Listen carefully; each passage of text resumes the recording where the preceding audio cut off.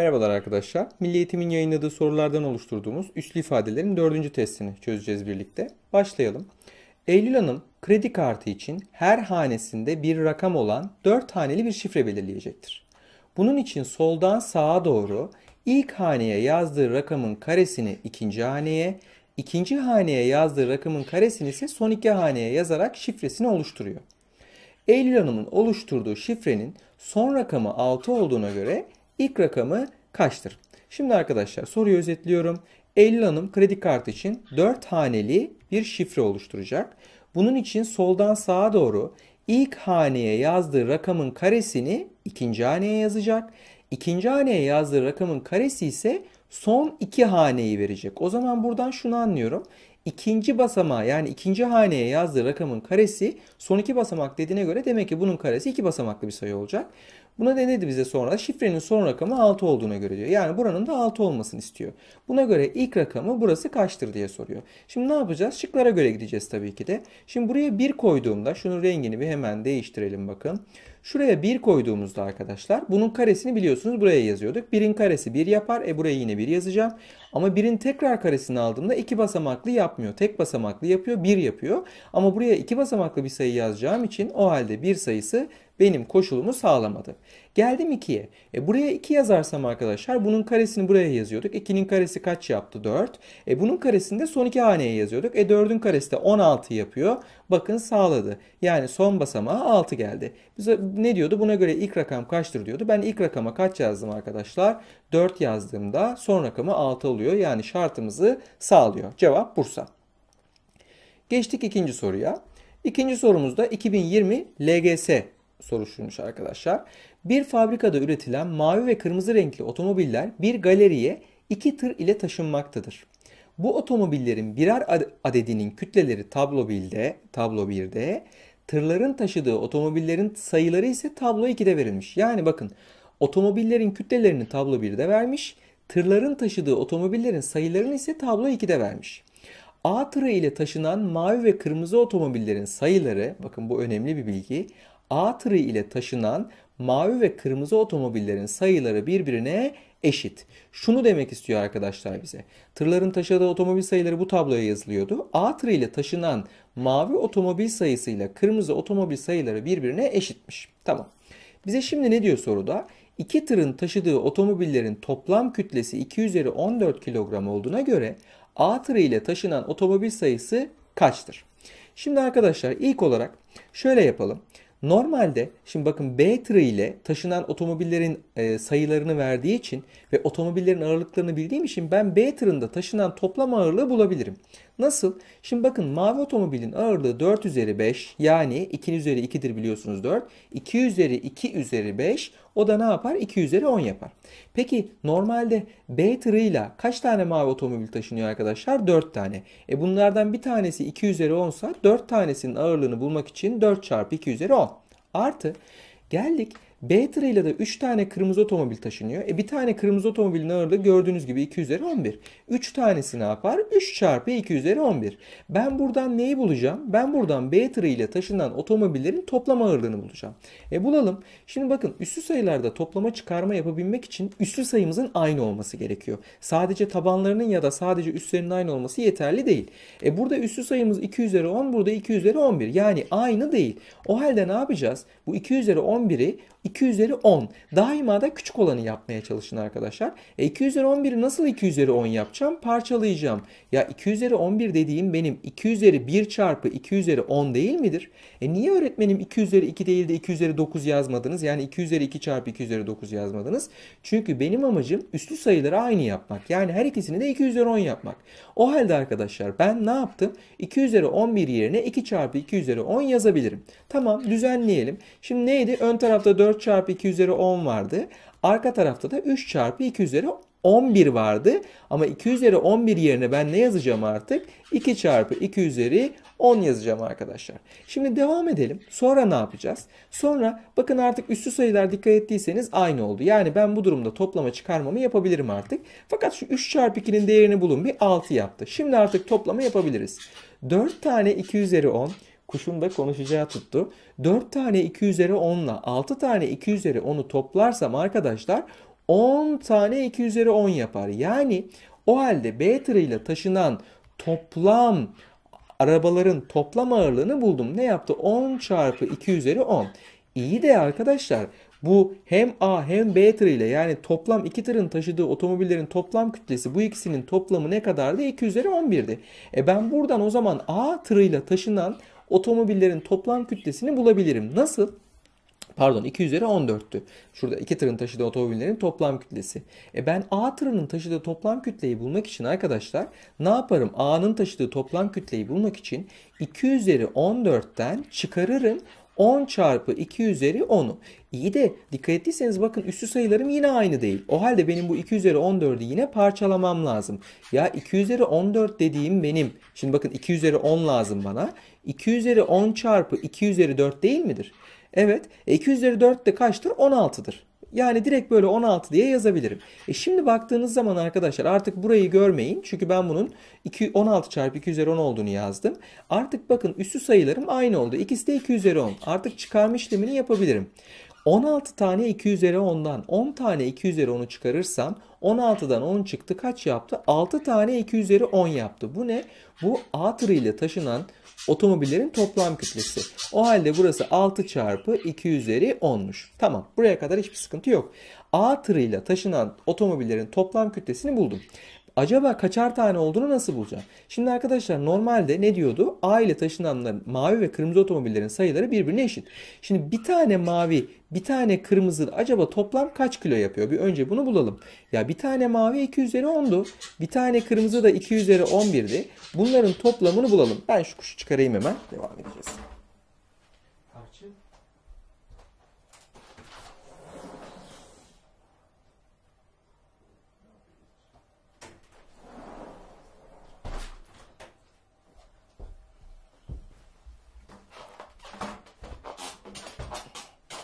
Evet arkadaşlar bir tane mavi 2 üzeri 10'du. Bir tane kırmızı da 2 üzeri 11'di. Ben buradan neyi bulmaya çalışıyorum? İkisinden de birer tane olduğunda toplam kaç kilo yapıyor? Hemen bu 2 üzeri 11 yine toplama yapabilmem için biliyorsunuz bu 2 üzeri 11'i de 210 yapmam lazım. E bu 2 üzeri 11 dediğim benim 2 çarpı 2 üzeri 10'dur. Yani 2 üzeri 1 çarpı 2 üzeri 10'dur. Artık bakın üstü sayılarımız aynı oldu. Şu 2 üzeri 11 yerine şunu düşün ya da güzelce bir daha yazalım. Ne yaptı yani arkadaşlar burası? Önünde 2 üzeri 10 vardı. Artı 2 çarpı 2 üzeri 10. Şimdi artık dikkat ettiyseniz ederseniz 2 üzeri 11'i düzenlediğimde üstü sayılarım aynı oldu. Şimdi toplama yapabilirim. Ya bir tane 2 üzeri 10 burada var. iki tane de 2 üzeri 10 buradan geldi. O halde mavi ve kırmızı otomobillerin bir tanesinin yani bir mavi bir kırmızının toplam kütlesi bir tane 2 üzeri 10, iki tane 2 üzeri 10 daha ne yaptı? 3 tane 2 üzeri 10 yaptı. Yani arkadaşlar bir mavi bir kırmızı 3 çarpı 2 üzeri 10 yapıyor. E benim toplam ne kadar bir ağırlığım vardı? 6 çarpı 2 üzeri 10 kilogram vardı. O halde ben bir tane mavi ile bir tane kırmızının toplamı 3 çarpı 2 üzeri 10 olduğu için e, Kaç tane olduğunu bilmiyorum ama toplam ağırlığında 6 çarpı 2 üzeri 10 olduğunu bildiğim için 6 çarpı 2 üzeri 10'a 3 çarpı 2 üzeri 10'a böldüğümde aslında kaç tane böyle bir mavi bir kırmızı var onu bulurum. E böldüğümde bakın 2 üzeri 10'lar birbirini yaptı. Ne yaptı? 2. Bu şu anlama geliyor. 2 tane 3 çarpı 2 üzeri 10 var. Yani 2 tane mavi kırmızı grup var. Yani bir tane mavi ile bir tane kırmızı grubun toplamı 3 çarpı 2 üzeri 10'du. E bunu böldüğümde 2 tane şöyle bakın bir mavi bir kırmızı 3 çarpı 2 üzeri 10'du. Ama ben kaç tane olduğunu bulmak için toplamı 3 çarpı 2 üzeri 10'a böldüm. 2 tane bir mavi bir kırmızı çıktı. Yani 2 tane grup çıktı. E bize toplam kaç tane otomobil taşıyor diye soruyordu A tırı. E her bir grupta iki otomobil vardı. E bende iki grup var. iki tane mavi ve kırmızı var. Toplam dört tane otomobil taşınır arkadaşlar. Diyorum güzel bir soru. Geçiyoruz üçüncü sorumuza. Evet. Burada yine ondalık gösterimle ilgili bilgiler veriyor. O yüzden bu kısmı geçiyorum. Rize Fırtına Vadisi'nde yürüyüş yaparken kaybolan bir turisti bulmak için onun kullandığı cep telefonundan gelen sinyaller incelenmiştir. Fırtına Vadisi'nde bulunan 4 farklı bölgedeki baz istasyonuna telefondan gelen sinyalin gücü aynı birim cinsinden onun tam sayı kuvvetlerini çözümlenerek aşağıda verilmiştir. Yani arkadaşlar çözümlenmiş olarak veriyorlar. Burada sinyalin gücünü elde edeceğim. Yani ben bu çözümlenmiş olarak verilen ondalık sayıların ne olduğunu bulmaya çalışacağım. Ekipler aramalara sinyal gücü en fazla olan bölgeden başlayacaklar. Yani ondalık sayı olarak değeri en büyük olan bölgeden başlayacaklar. Buna göre arama çalışmalarını hangi bölgeden başlamışlardır? Kolay bir soru. Öncelikli olarak benim ondalık sayıları çözümlemeyi bilmem gerekiyor. Arkadaşlar ondalık sayıları çözümlerken virgülden önceki basamak tam kısımdı biliyorsunuz. Burası birler, onlar, yüzler. Yani 10 üzeri sıfırlar, 10 üzeri birler, 10 üzeri ikiler basamağı. Ne diyorduk? Birler, onlar, yüzler. Ama çözümlemede 10 üzeri sıfır, 10 üzeri bir olduğu için üstlerine 0, 1, 2 yazdım. Daha rahat anlayın diye. Kesir kısmında da burası 1 bölü 10'da birler basamağı yani 10 üzeri eksi birler basamağı. Burası yüzde birler yani 10 üzeri eksik. Burası binde birler yani 10 üzeri eksi 3. Şimdi bu ne işimize yarayacak? Şimdi bakın birinci bölgedeki ondalık sayının çözümlenmiş halini vermiş. Ben bu ondalık sayıyı bulmaya çalışacağım. Nasıl? 10 üzeri sıfırlar basamağının önünde bir şey olmadığı için 1 varmış gibi düşüneceğim. 10 üzeri sıfırlar basamağında 1 var. E 10 üzeri sıfırlar basamağı burası biliyorsunuz. Demek ki burada 1 varmış. 10 üzeri eksi birler basamağında 2 varmış. Yani arkadaşlar ben çözümlenmiş olarak verilen ondalık sayının kendisini bulmaya çalışıyorum. 10 üzeri eksi birler basamağında 2 varmış. O halde burası 2. 10 üzeri eksi 3'ler basamağında da 4 varmış. O halde burası 4. Çözümleme sorularında orta tarafta boşluk kalırsa oraya 0 koyuyorsunuz. Önünde ya da arkasında boşluk kalırsa oraya bir şey yapmıyorsunuz. Siliyorsunuz. O halde buradaki ondalık sayımız ne yaptı arkadaşlar? 1 tam 1000'de 204. Tamam burayı bulduk. Şimdi geldik ikinci bölgeye. Onu bulalım. Çözümlenmiş halini vermiş. Bakın yine 10 üzeri sıfırlar basamağında önünde bir şey yoksa 1 vardır biliyorsunuz. 10 üzeri sıfırlar basamağında 1 var. E burası 10 üzeri sıfırlar basamağı yani birler basamağıydı. Burada 1 var. 10 üzeri eksi birler basamağında 3 varmış. Burası da 10 üzeri eksi birler basamağı bakın burada da 3. E başka da bir şey yok. E önünde sonunda boşluk varsa burayı görmüyorduk, karalıyorduk. Buradaki ondalık sayımız ne yaptı? 1,3. Devam edelim. Geldik 3. bölgeye. Yine bakın 10 üzeri sıfırlar basamağı önünde bir şey yok olmadığı için 1 varmış gibi düşünüyorum. 10 üzeri eksi 2'ler basamağı da burası. Burada da 8 varmış. Önünde 8 var. Ortasındaki boşluğa 0 koyuyorum. Önündeki ve arkadakileri görmüyorum. E ne yaptı o zaman 3. bölgedeki ondalık sayımız? 1 tam %8. Geldik 4. bölgedeki tek tek bulmam gerekiyor ki hangisi daha büyük onu anlamam gerekiyor. Bakın 10 üzeri sıfırlar basamağında 1 varmış. 10 üzeri eksi 2'ler basamağında 4 varmış. 10 üzeri eksi 3'ler basamağında da 5 varmış. Ortada boşluk olursa buraya 0 yazıyorum. Önündeki ve arkasındaki boşlukları görmüyorum. O halde 4. bölgedeki ondalık sayımızda 1 tam 1000'de 45. Şimdi bize ne diyordu? Arama çalışmalarına hangi bölgeden başlanmıştır? E, sinyal gücü en fazla olan bölgeden başlanıyordu. Yani değer olarak buradakilerin en büyük hangisi ise oradan başlanıyor. E baktığınız zaman bunların içerisinde en büyük ondalık sayı hangisi? Lütfen 1,204 demeyin. Ondalık sayıları sıralarken önce tam kısımlarına bakıyordum. Bakın hepsi 1. Buradan anlayamadım. Sonra bir kesir kısmına geçiyorum. Yani bir sağa geçiyordum. Burada 2 var, burada 3 var, burada 0 var, burada da 0 var. E bunların içerisinde en büyük olan 3 olduğu için ondalık olarak da en büyük olan sayı 1,3'tür. Yani ikinci bölgededir. O halde ikinci bölgeden başlarlar aramaya arkadaşlar. Geçelim bir diğer sorumuza. Dördüncü sorumuz. Evet. Şimdi arkadaşlar burada yine üssü sayılarla ilgili özellikler verilmiş. Matematik öğretmeni Elif'e Yukarıdaki yapboz parçalarını verip ondan üzerlerinde yazılı olan üslü ifadelerin değerlerini birbirine eşit olan, bakın değerleri birbirine eşit olan dört parçayı birleştirerek bir yapboz modeli oluşturmasını istemiştir. Buna göre Elif'in oluşturması gereken yapboz modeli aşağıdakilerden hangisidir? Burada şunu soruyor aslında bize. Burada verilen 8 tane yapboz parçasından 4 tanesinin değeri birbirine eşit. Bunlarla bir yapboz oluşturuluyor. Bu dördü hangisi? Şimdi ben olsam öncelikli olarak bunlardan pozitif negatif olanları belirlerim. Nasıl? Neden öğretmenim? Çünkü biri pozitif biri negatifse bunların değerleri birbirine eşit değildir. Buradan zaten ikicik elerim mesela. Çünkü bunların hepsinin tek tek değerlerini bulmak istemiyorum. Bakın parantezi negatif bir sayının üstü çiftse sonuç pozitif. Burada taban pozitif olduğu için sonuç daima pozitif. Parantezi negatif sayının üstü tek olduğu için negatif. Üstü tek olduğu için negatif. Üstü çift olduğu için pozitif. Üstü çift olduğu için pozitif. Üstü çift olduğu için pozitif. Üstü çift olduğu için pozitif. Şimdi burada bakın 1, 3 demiş. İyi de 1 ve 3 biri pozitif biri negatif olduğu için bunların aynı olma olasılığı yok. Bir negatif sayı biri pozitif sayı. Geldim 7 ve 3 demiş mesela bakın arkadaşlar. 7 pozitif, 3 negatif. Bu da gitti. Ama diğerlerine baktığınızda 1, 8, 2, 6. Bakın 1, 2, 8, 6 hepsi pozitif. Bu olabilir. 1, 8, 5, 6 bakın 1 pozitif, 8 pozitif, 5 pozitif bu da olabilir. E şimdi ne yapacağım? Şimdi artık burada yapbozlardan herhangi ikisine bakabilirsin. Mesela 1 ile 2'ye bakalım. E çocuklar Eksi 2 üzeri 12 demek biliyorsunuz bunun sonucu artı 2 üzeri 12 de 4096 yapıyor herhalde. Önemli değil. 2 üzeri 12 olarak kalsın. Ama geldik yeşil yapboza bakın. Üstünün üstü alınırken biliyorsunuz taban aynen yazılıyor. Üstler çarpılıyordu. Eksi 1 ile 12 çarparsam eksi 12 yapar. E bunun değeri zaten 2 üzeri eksi 12 ile 2 üzeri 12'nin değeri birbirine eşit olamaz. Çünkü bunun sonucu 1 bölü 2 üzeri 12'den kesirli çıkar. Biliyorsunuz üstündeki negatif işareti takla attır anlamına geliyordu. E bu kesirsiz bu kesirli. Bunların değeri birbirine eşit olamaz. Yani 1 ile 2 bir araya gelemez. O halde cevabımız Ceyhan diyoruz arkadaşlar. Geçelim 5. sorumuza. Geldik 5. sorumuza. Dünyada 1.4 milyar kilometre küp olacak arkadaşlar. Bunu atlamışız. Kilometre küp civarında su vardır. Aşağıdaki görselde dünyadaki su miktarının dağılımı gösterilmiş. Bakın. Buna göre nehirler ve gölleri oluşturan su miktarını, nehirler ve gölleri oluşturan su miktarını metreküp cinsinden aşağıdakilerden hangisine eşittir? Bu arada şuradaki şu soru kısmı bir sonraki sorudan kopyala yapıştırırken fazladan olmuş. Bunu görmeyin. Zaten ben onu düzeltir öyle koyarım aşağıya pdf halini. Evet tekrar okuyalım. Buna göre nehirler ve gölleri oluşturulan su miktarı. Burada baktığınızda nehirler ve göller burası. Ne kadarını oluşturuyormuş? %0,3'ünü. Peki biz bir sayının yüzdesini bulurken tamamıyla o yüzdeyi çarpıyorduk. Mesela 20'nin %10'u kaçtır desem ben size 7. sınıf hatırlayalım.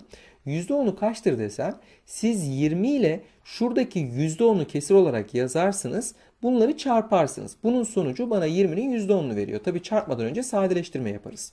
Neyse. Şimdi buradan neyi söylemek istiyorum size? Buradan size şunu söylemek istiyorum arkadaşlar. Bir sayının yüzdesi bulunurken tamamıyla o yüzde çarpılır. Yani ben yüzde 0,3'ünü bulmak için dünyadaki toplam su kütlesini yüzde 0,3 ile çarpacağım.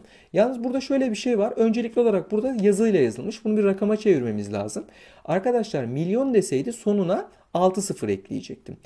Milyar dediğinde sonuna 9 sıfır ekleyeceğim. Yani benim 1.4 milyar dediğim aslında 1,4 çarpı 10 üzeri 9 kilometre küp yapıyor. Yani buradaki yazıyı sayıya çevirdim. Yani şunu demek istiyorum. Milyar olarak bir şey verildiğinde sonuna 9 sıfır ekleyin. Mesela 2 milyar dediğinde size 2 çarpı 10 üzeri 9 deyin. 7 milyar dediğinde 7 çarpı 10 üzeri 9 deyin. Eğer milyon deseydi bu sefer 2 çarpı 10 üzeri 6. 7 milyon deseydi 7 çarpı 10 üzeri 6. Yani milyonlarda sonuna 6 sıfır gelir. Milyarlarda sonuna 9 sıfır gelir. Tamam. Bunu da anladık. Şimdi bu kadar kilometre küp ama soruda baktığınız zaman metre küp diye soruyor. O halde benim bunu metre küpe çevirmem lazım. Bakın ne diyor? Kilometre küpü metre küpe çevirirken 1 10 üzeri 9 olmuş. Yani 10 üzeri 9 ile çarpılacak ya da sonuna 9 tane sıfır eklenecek arkadaşlar. Tekrar ediyorum. Kilometre küp metre küpe çevirirken 9 tane sıfır eklenecek. Buradan onu anladım. Ama bunu bilmiyorsanız biliyorsunuz şöyle bir sıralama vardı. Kamile halam damda Mehmet dayım camda. Merhaba merhaba. Bunlar bizim uzunluk ölçülerimizdi. Bunların üstünde küp var. Çünkü hacim ölçü birimleri. Bu şu anlama geliyordu. Aşağıya doğru inerken her bir adım için 3 sıfır ekle. Yukarı doğru çıkarken her bir adım için 3 sıfır sil.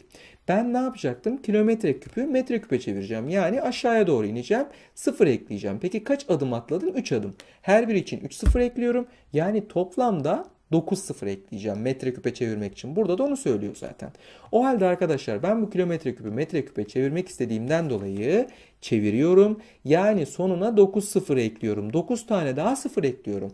E normalde 10 üzeri 9'du. 9 tane sıfırı vardı. E 9 tane de ben ekledim. 10 üzeri 8 metreküp yaptı. O halde ben dünyadaki su miktarını metreküpe çevirdim. Bunun da %0,3'ü nehirler ve gölleri oluşturuyormuş. E ne yapacağım arkadaşlar? Bu sayının %0,3'ünü bulmak için 1,4 çarpı 10 üzeri 8 ile %0,3'ü çarpacağım. Tamam. Öncelikli olarak şuradan, şu virgülden kurtulmayı çok istiyorum ben. Şu virgüllerde hiç sevmiyorum. Şu virgülü kurtarmak için önce bir 10 ile genişletiyorum. 10 ile genişletirsem yukarısı biliyorsunuz 3 olur. Aşağısı kaç olur arkadaşlar? 10 ile genişlettiğimde bir sıfır eklemek demek biliyorsunuz 1000 olur. Yani arkadaşlar ben 0,3 bölü 100 ile çarpmak yerine 3 bölü 1000 ile çarpıyorum. Aynı. Düzenleyelim bakın bir daha yazalım daha rahat görün diye. 1 çarp 1,4 çarpı 10 üzeri 8 18 pardon çocuklar. Hani 9 sıfır ekledim ya 9 9 sıfır ekledim 18'di. E buna ne yazdık? 1,4 çarpı 10 üzeri 18 ile 3 bölü 1000'i çarpacağız. Şurada karışıklık olmasın. Kilometre küpü metre küpe çevirirken 9 sıfır ekliyordum. E zaten 9 sıfırı vardı. Bir 9 daha ekledim. 10 üzeri 18 oldu. Şimdi geldik 3 bölü 1000 ile çarpalım. Çocuklar öncelikle şu payını bir yapalım. Yani şuradaki çarpmayı yapalım. Sonra da 1000'e böleceğiz. E 1,4 ile 3'ü çarpalım. Yani üslü olmayan sayıları çarptığımızda 4,2 yapıyor. Çarpı bir de yanında ne var bakın 10 üzeri 18 var. Bölü aşağıda da 1000 var. Yani 10 üzeri 3 var.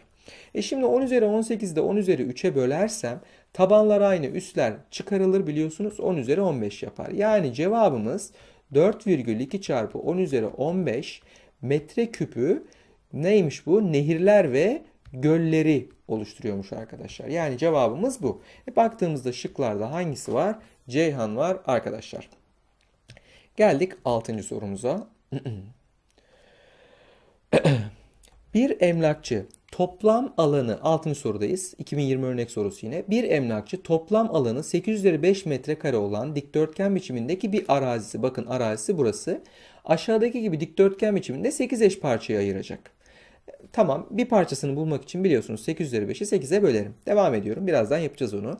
Dikdörtgen biçimindeki bu parçalardan her birinin uzun kenarı 4 üzeri 4 metreymiş. Tamam. Buna göre kısa kenar uzunluğunu metre cinsinden bulunuz. Şimdi arkadaşlar buranın toplamı tamamı 8 üzeri 5'miş. E 8 tane parça var. Ben bunun bir tanesini bulmak için 8 üzeri 5'i 8'e bölerim. 8 parça var. E bunun üstünde gizli bir 1 var biliyorsunuz. Tabanlar aynı olduğu için 5'ten 1'i çıkardım. 8 üzeri 4 yaptı. Bir tanesinin alanı 8 üzeri 4 metre kare yaptı. Şimdi bakın şuradaki bir parçayı aldım. Şuraya daha rahat görün diye çizdim. Bunun alanı 8 üzeri 4 yaptı. Çok güzel. Peki bize bu parçanın her birinin uzun kenarını yani şurayı da vermişti arkadaşlar. Şu uzun kenarını da vermişti. E bu uzun kenarı da kaçmış? 4 üzeri 4. E bize kısa kenarını soruyor. Şimdi hemen şurada bakalım. Bir dikdörtgenin alanı 12 ise örnek veriyorum uzun kenarı 4 kısa kenarını sorarsa 12'yi 4'e bölerim kısa kenarını bulurum. 3 kere 4 12 yapıyor çünkü. O halde ne yapacakmışız kısa kenarını bulmak için? Alanını uzun kenarına böleceğiz. E, alanımız 8 üzeri 4'tü arkadaşlar. E, uzun kenarımızda 4 üzeri 4'tü. O halde 8 üzeri 4'ü 4 üzeri 4'e böleceğim. E şimdi bakın üstleri aynıysa bölme işleminde üst aynen yazılıyordu. Tabanlar bölünüyordu. 8'i 4'e böldüm kaç yaptı? 2 üzeri 4. O halde kısa kenarımız 2 üzeri 4'müş. Bize de zaten onu soruyordu. Cevabımız Bursa arkadaşlar. Geldik 7. sorumuza. Yine yukarıda bilgi veriyor sığması için. Şöyle indiriyorum. 2020 örnek sorusuymuş. Bir süt fabrikasında özde şişelere iki farklı üniteden süt dolumu yapılmaktadır. Birinci dolum ünitesine giren boş bir şişeye süt doldurmak için süt doldurmak için geçen süre 12 saniye olup dolan şişenin üniteden çıkıp yeni bir boş şişenin üniteye girmesi için geçen süre ise 4 saniye. Bakın şimdi şöyle arkadaşlar. Birinci dolumda, birinci dolumda. Şimdi öncelikli olarak bir şişe varsa bu şişenin doldurulup çıkması, dolması için pardon 12 saniye geçiyor. Peki doldurulan bu şişenin çıkıp yenisine boş şişenin gelme süresi ise 4 saniye sürüyor. O halde biz boş bir şişe doldurulduktan sonra tekrar yeni bir boş bir şişenin oraya gelmesi toplamda 16 saniyede oluyor. Bunu anladık.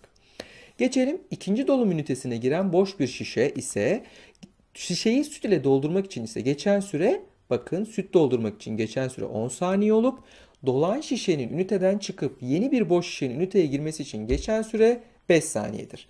Yani arkadaşlar ikinci dolum ünitesinde öncelikli olarak boş şişenin dolması için 10 saniye geçiyor. Peki dolan şişenin çıkıp yenine yeni bir boş şişenin geçmesi için ise 5 saniye geçiyor. Yani toplamda 15 saniye geçiyor. Bunu anladık. Şimdi soruda neyi soruyor? Buna göre bu iki dolum ünitesinin aynı anda birer tane boş şişe girdikten sonra 128. kez iki dolum ünitesinin aynı anda birer tane boş şişe girene kadar geçen süreyi dakika cinsinden bulunuz. Çok güzel bir soru. Aslında üstü sayı sorusu ama içerisinde Ebo Bekok da var. Yani çarpan kat da var.